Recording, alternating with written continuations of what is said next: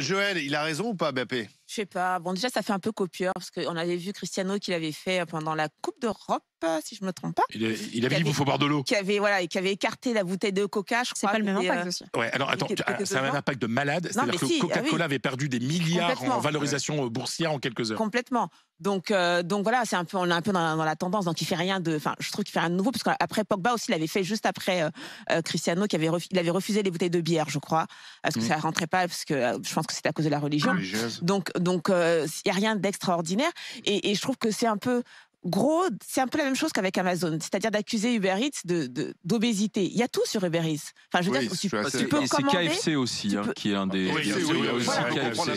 Voilà, y, a- enfin, il y a de tout vraiment sur Uber Eats. Si tu as envie de manger Uber Eats, vraiment je suis tu peux trouver sur Uber Je peux Eats. très euh, bien prendre Uber Eats dans les ah bah, très bons restos. ah, ah bah oui, oui, tu peux prendre des salades. Enfin, tu peux, tu peux trouver tout trouver. Donc, euh, Coca-Cola, c'est autre chose. On le sait Mais enfin, quand tu ça- vois les, buts, Mais- les pubs d'Uber Eats, euh, c'est pas des salades. pour moi, hein. Oui, c'est mais parce que pizza. hein, Excuse-moi, Oui, quand tu vois les pubs. euh, bien sûr. enfin, voilà, Mais bon, après, moi, enfin, je, je- moi, je peux l'entendre. hein. Enfin, je veux dire, si ça rentre pas dans son éthique, euh, mais ce qui me pose un peu plus de problème, c'est que c'est la France. C'est que là, tu viens euh, en tant que Kylian Mbappé, d'accord, mais jouer pour la France. Et là, c'est ça, se- ça se passe plus haut. C'est pourquoi la France, du coup, choisit ce genre de. Bah, c'est de pour l'argent, voilà. mon ami. Voilà.